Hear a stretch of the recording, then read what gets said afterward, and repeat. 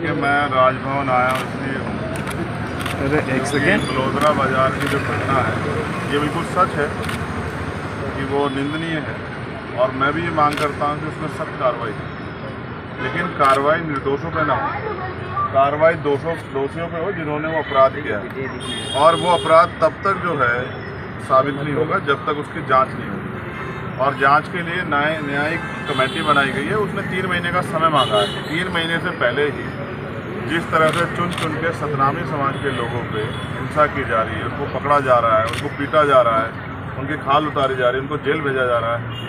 ये ऐसा लगता है कि कोई जो है पुरानी रंजिश का जो है, इस समाज से किसी पुरानी रंजिश हो, उसका सरकार जो इसको बनाया जा रहा है। पैसा है पहली बात तो मन का मन का एक समान का नारा देने वाले गुरु घासीदास जी ने कभी हिंसा का रास्ता दिया ही नहीं। तो सतनामी समाज के लोगों को हिंसक साबित करने में जो सरकार लगी हुई है और एडमिनिस्ट्रेशन में पुलिस लगी ये किसी भी सूरत में बर्दाश्त करने योग्य नहीं पूरे देश के सतनामी समाज में रोष है।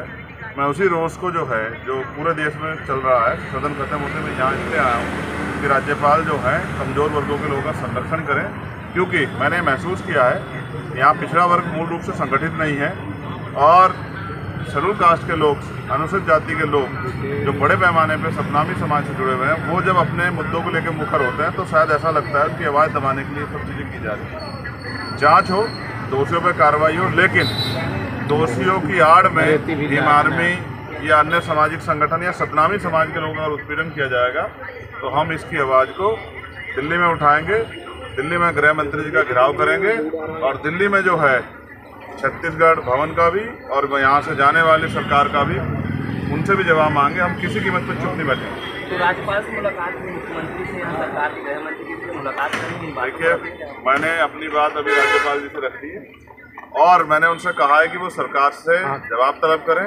अगर उसके बाद भी कार्रवाई नहीं होती है उसके बाद भी ये जो है अन्याय नहीं रुकता है तो फिर वो प्रदेशव्यापी आंदोलन तो होगा ही लेकिन देशव्यापी आंदोलन भी होगा क्योंकि इस घटना के बाद सतनामी समाज को भी एहसास हो गया है कि उनका अपना कौन है और सिर्फ़ उनसे वोट की वोट का जो है इच्छा रखने वाला या अपने वो, वोट के आधार पर उनको अपना कहने वाला कौन है ये भी एहसास हो रहा है क्योंकि जुल्म हो रहा है और सब लोग बैठ के तमाशा देख रहे हैं। मैं चाहता हूँ इस घटना की सीबीआई जाँच हो और वो भी सुप्रीम कोर्ट के जजों की निगरानी में जो दूध का दूध पानी का पानी हो जाए दोषियों को सजा मिले और निर्दोष लोग जिनको भेजा गया जेल उनको बिना शर्त के रिहा किया जाए बिलाईगढ़ में जो सभा होगी उसमें भी समाज बड़े पैमाने पर इकट्ठा होगा और इसी बात पर चर्चा होगी कि जुल्म से किस तरह लड़ा जाए और जुल्म से लड़ने का तरीका संवैधानिक है कि देश भर में राष्ट्रीय स्तर का एक आंदोलन हो और सरकार को एहसास हो कि सत्तावी समाज के लोग सिर्फ़ यहाँ नहीं रहते देश भर में रहते हैं उनके साथ जुल्म होगा तो वो चुप नहीं रहे आपकी सभा में ये अपील रहेगी क्या कि जिस तरह से बलौदा बाज़ार में जो आंदोलन हुए वैसा ना हो?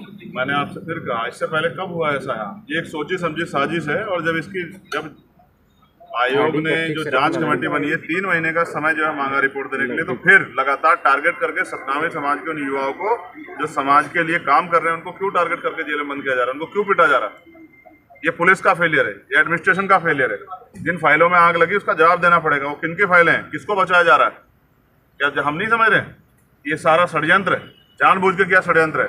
ऐसा क्या होता है? कुछ ही फाइलें चलती हैं। बाहर के पोर्शन में आग नहीं लगती। मैं इस हिंसा के खिलाफ लेकिन मैं कह रहा हूँ, दोषियों पर कार्रवाई हो, लेकिन निर्दोष लोगों की कार्रवाई करके दोषियों को बचाने और इस मामले में जाके जो गंभीर मामले चल रहे हैं प्रदेश में, उन पर पर्दा ढकने का जो इंतज़ाम चल रहा है, वो नहीं चलेगा।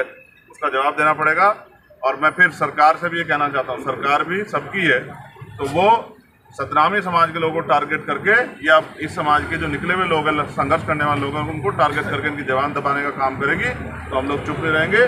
प्रदेश और राष्ट्रीय स्तर पर मज़बूत आंदोलन करेंगे, सरकार जाँच कराना सीबीआई जाँच। सरकार अगर इतनी गंभीर है, कैसे हो गया? इतना बड़ा समुदाय इकट्ठा इंटेलिजेंस का फेलियर है एल का फेलियर है। क्या कर रही थी पुलिस? क्या कर रहा था एडमिनिस्ट्रेशन क्यों तमाशा देखने के लिए बैठे तनख्वाह लेते हो? तो मौके पर जाके काम करते, हालात संभालने का प्रयास करते। क्या किया? दफ्तर छोड़ छोड़ के भाग। गए ये सब एक साजिश है और ये तभी इसका जो है पर्दाफाश होगा जब इसकी सीबीआई जाँच होगी और वो भी सुप्रीम कोर्ट के जजों की निगरानी में, जिससे दूध का दूध, पानी का पानी होगा दो सौ पर कार्रवाई होगी, निर्दोषों को रिहा किया जाएगा। धन्यवाद।